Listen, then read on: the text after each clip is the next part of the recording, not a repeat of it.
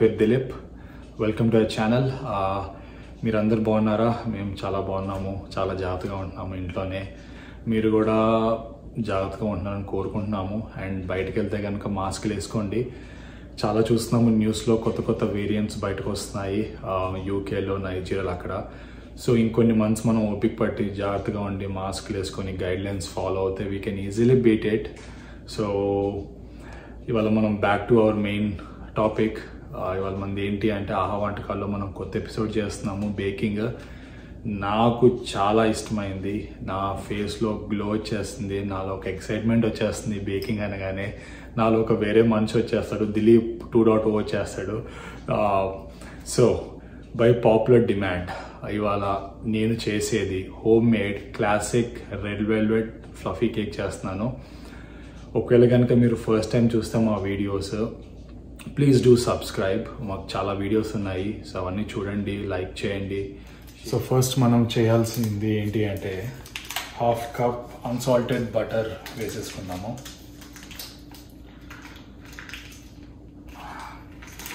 Also please make sure అన్నీ వచ్చేసి ఇవన్నీ ఇంగ్రీడియంట్స్ వచ్చేసి room temperature eggs butter milk ఇవన్నీ రూమ్ టెంపరేచర్లో ఉండాలి. అది మర్చిపోకండి.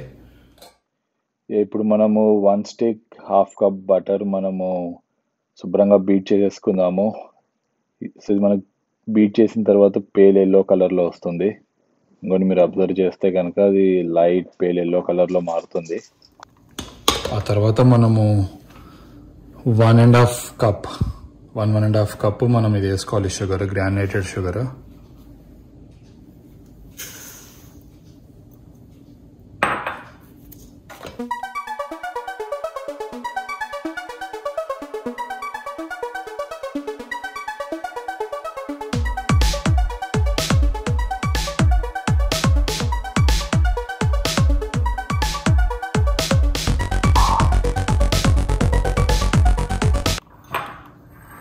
ఇప్పుడు మనకి ఇప్పుడు మనకి ఈ రెసిపీకి మనకి టూ ఎగ్స్ పడతాయి.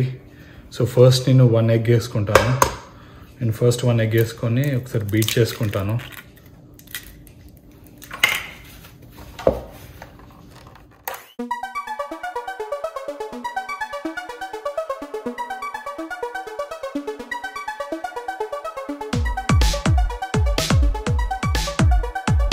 ఇప్పుడు నేను సెకండ్ ఎగ్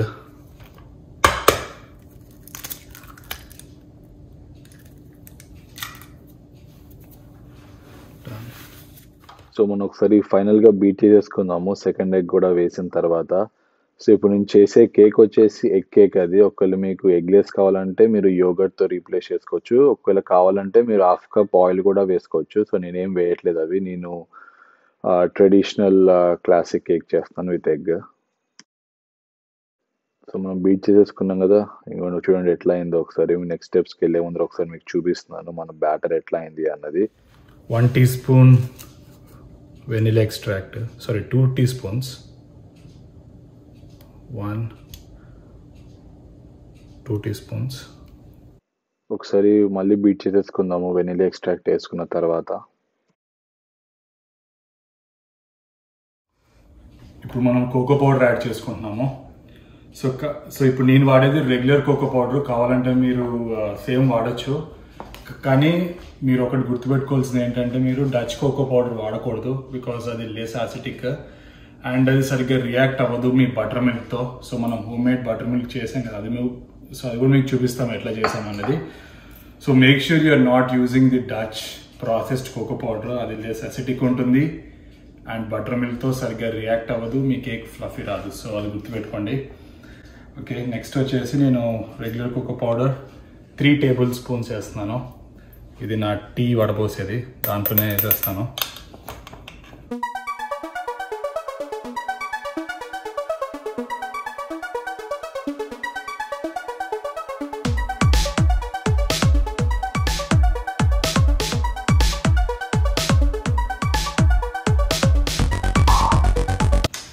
ఇప్పుడు మనం వెట్ ఇంగ్రీడియంట్స్ పక్కన పెట్టేద్దాము. Let start working on the dry ingredients ఇప్పుడు నెక్స్ట్ నేను ఇదే బౌల్లో two and half cups all purpose flour తీసుకుంటున్నాను. Two and half cups sir two and half cups తీసుకున్నాము ఇది ఆల్రెడీ నేను ఇది ఒకసారి ఇట్లా పట్టేసుకున్నాను నీట్గా. సో మనకి ఇంకేం అక్కర్లేదు మళ్ళీ.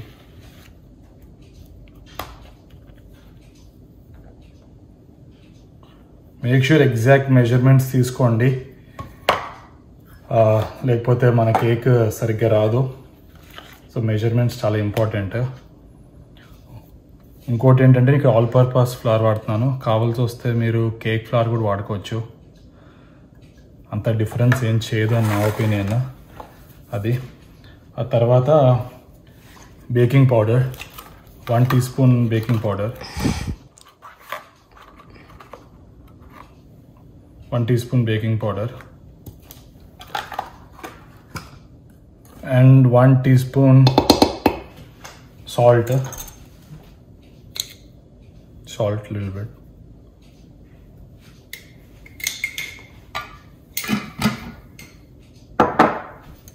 సరే మళ్ళీ మిక్స్ చేసేసుకుందాము.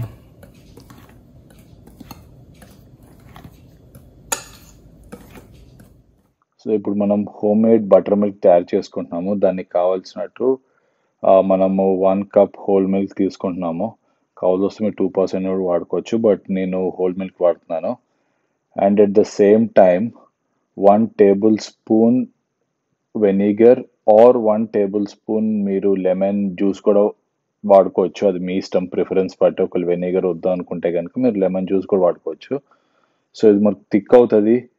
మీరు ఇది కూడా ఒక టెన్ మినిట్స్ బయట పెట్టేస్తే ఈ లోపల మీరు మీ బ్యాటర్ రెడీ చేసుకునే ముందు ఇది కూడా రెడీ అయిపోతుంది మనకి. ఇంకోటి చూస్తే కనుక నువ్వు చూసారా థిక్ అయింది ఇది. ఇంకోటి థిక్ అవుతుంది చూసారా? సో ఇందులో నేను ఒక one two drops old old food colour వేస్తున్నాను red okay just two drops చాలు. మళ్ళీ అందులో యాడ్ చేసుకుంటాం మనం తర్వాత. ఓకే?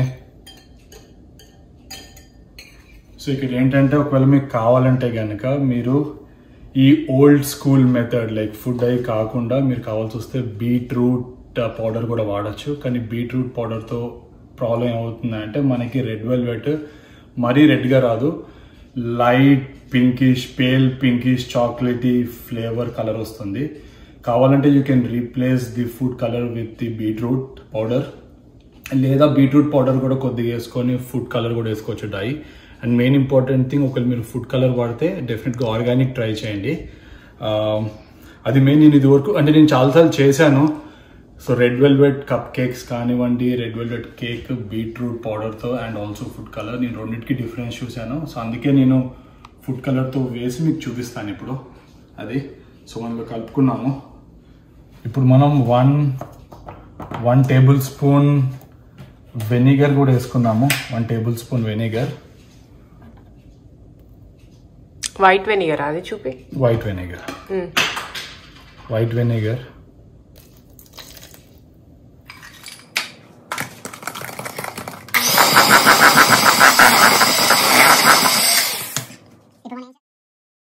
so ఇక్కడ మన wet and dry ingredients ready అయిపోయినాయి కదా. సో అది మనము కొద్ది కొద్దిగా వేసుకొని కలిపేసుకుందాము. ప్రాబుల్లీ రెండు హాఫ్గా విడదీసి కలిపేసుకుందాము. దట్ వే అన్న లంప్స్ ఏం లేకుండా నీట్గా బ్యాటర్ మిక్స్ అయిపోతుంది.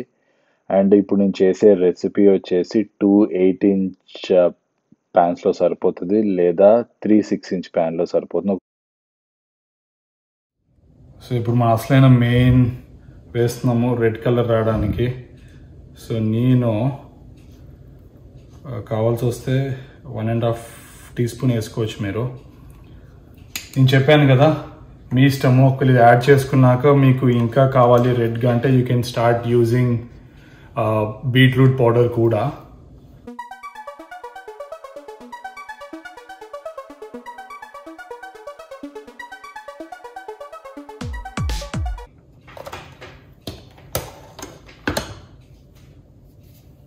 ఒకసారి మళ్ళీ కలిపేసుకుందాము నీట్గా. సో ఇప్పుడు మనకి ఇది ఇంత రెడ్గా ఉన్నా సరే అది బేక్ అయిన తర్వాత కొద్దిగా పేల్ కలర్కి మారచ్చు. సో మీరు బేసిక్గా జడ్జ్ చేసుకోండి ఎంత వేస్తే ఎంత కావాలి అన్నది. నాకైతే one and half two two teaspoons is more than enough ఇప్పుడు మనం అవన్నీ సెట్ చేసేసుకుందాము. కన్వెన్షనల్ బేక్ త్రీ ఫిఫ్టీ కావాలి మనకి. స్టార్ట్ చేద్దాము. సో ప్రీ హీట్ అవుతుంది. ఆ తర్వాత మన temperature thirty to thirty five so నేను థర్టీ త్రీ మినిట్స్ పెడతాను. సో మన బ్యాటర్ రెడీ అయిపోయింది. అట్ ద సేమ్ టైం మన టూ ఎయిట్ ఇంచ్ ప్యాన్స్ ఇవి. దీనికి కొద్దిగా బటర్ రాసేసుకుందాము. ఓకే ఓకే మనం మన బ్యాటర్ ట్రాన్స్ఫర్ చేసుకుందాము స్లోగా ఇందులోకి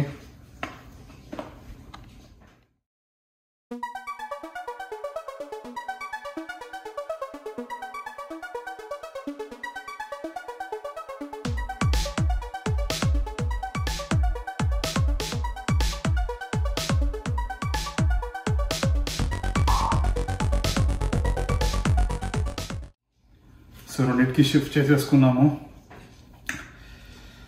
నాకైతే ఎప్పుడెప్పుడు బేక్ చేసేసి ఎప్పుడెప్పుడు తినాలని ఉంది దీని తర్వాత మనం ఫ్రాస్టింగ్ చేసుకోవాలి. అది ఎట్లా చేయాలనేది కూడా మీకు చూపిస్తాను.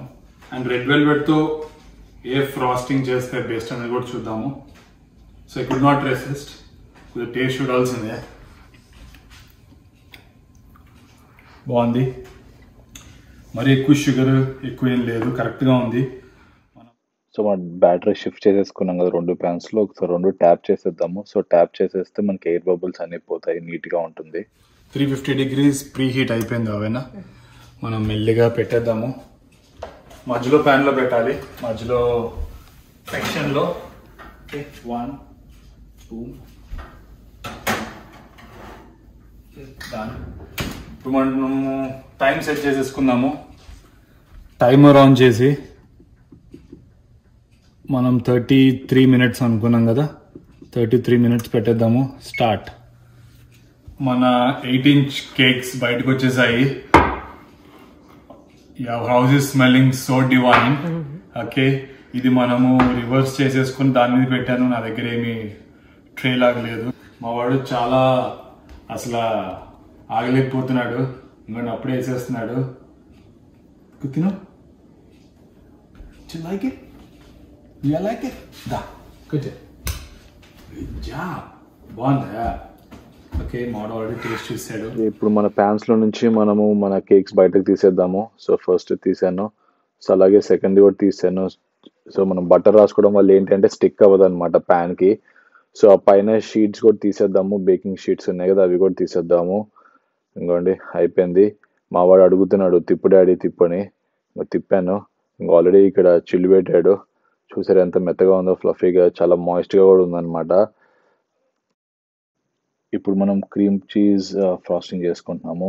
దానికి ఏం కావాలి అంటే half cup plus one by fourth cup ఈ అన్సాల్టెడ్ బటర్ కావాలి. దాన్ని మనం బీట్ చేసేసుకుందాము. సో మనకి బటర్ బీట్ అయిన తర్వాత మనం అసలైన ఇంగ్రీడియంట్ క్రీమ్ చీజ్ అది నేను ఎయిట్ ఓన్స్ తీసుకున్నాను. సో అది టూ వస్తాయన్నమాట కాస్కోలో packets eight ounce plus eight ounce so నేను వన్ తీసుకున్నాను ఎయిట్ ఓన్స్ అది కట్ చేసేసి వేసేద్దాము. సో దీనివల్ల ట్యాంగీ ఫ్లేవర్ వస్తుంది కొద్దిగా పుల్లగా. చాలా బాగుంటుంది. కావాల్సి వస్తే నేను చెప్పినట్టు మీరు వేరే అమెరికన్ బటర్ క్రీమ్ కూడా వాడుకోవచ్చు vanilla flavour but it all depends on your choice preference so ఇది కూడా బీట్ చేసేద్దాం.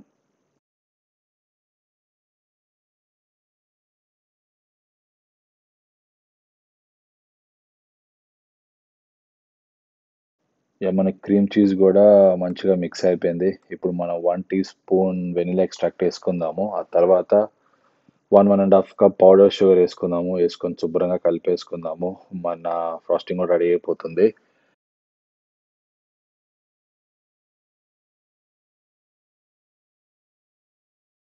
ఇప్పుడు ఇక్కడ మన two eight inch cakes ready అయిపోయినాయి కదా సో నేను పైన లేయర్ కట్ చేసేసుకున్నాను. కట్ చేసుకున్నది వేస్ట్ చేయకుండా మనం ఏం చేద్దామంటే అది క్రంబుల్స్గా చేసి అది మనం లాస్ట్కి డెకరేషన్ కూడా చేసుకోవచ్చు కేక్కి సో ఇప్పుడు మనం మన కేక్ని మన ఫ్రాస్టింగ్తో లేయర్స్ చేసేసుకుందాము. సో నేను ఫస్ట్ ఒకటి ఎయిట్ ఇంచ్ పెట్టేశాను. దాని మీద ఒక లేయర్ వేసాను ఫ్రాస్టింగ్ అది మీరు కావాల్సి వస్తే ఒక ట్వంటీ ఫైవ్ పర్సెంట్ వేసుకోవచ్చు.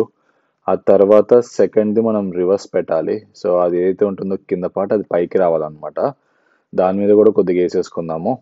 వేసేసుకొని ఒకసారి చుట్టూ తిప్పేసుకుందాము.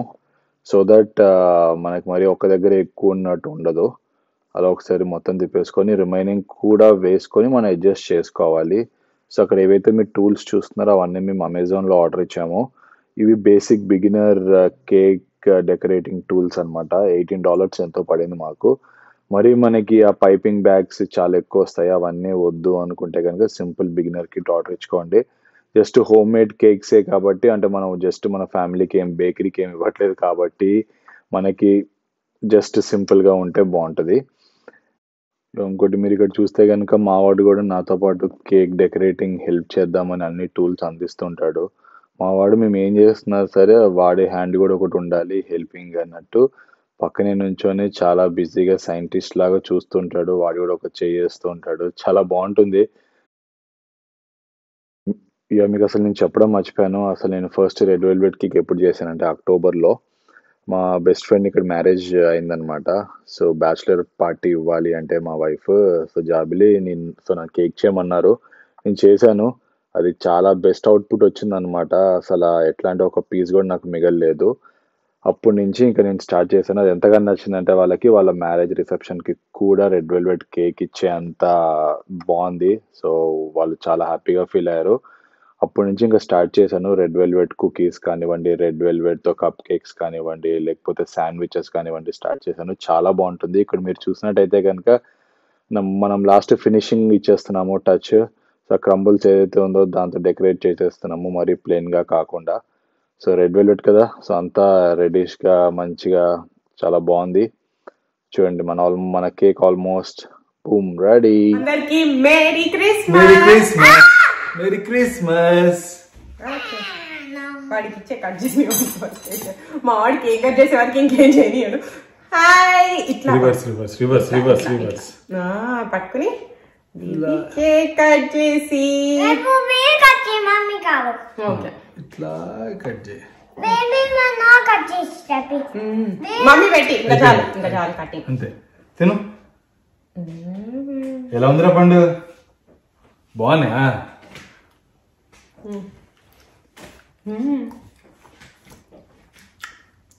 చాలా బాగుంది. మా వీడియోస్ అన్ని చూడండి. నచ్చితే డెఫినెట్గా లైక్ చేయండి షేర్ చేయండి అండ్ సబ్స్క్రైబ్ చేయండి. చాలా మంచి మంచి వీడియోస్తో మేము ముందరికి వస్తున్నాము. చాలా హార్డ్ వర్క్ సో మీరు డెఫినెట్గా సబ్స్క్రైబ్ అయితే మాకు మోటివేషన్గా ఉంటుంది.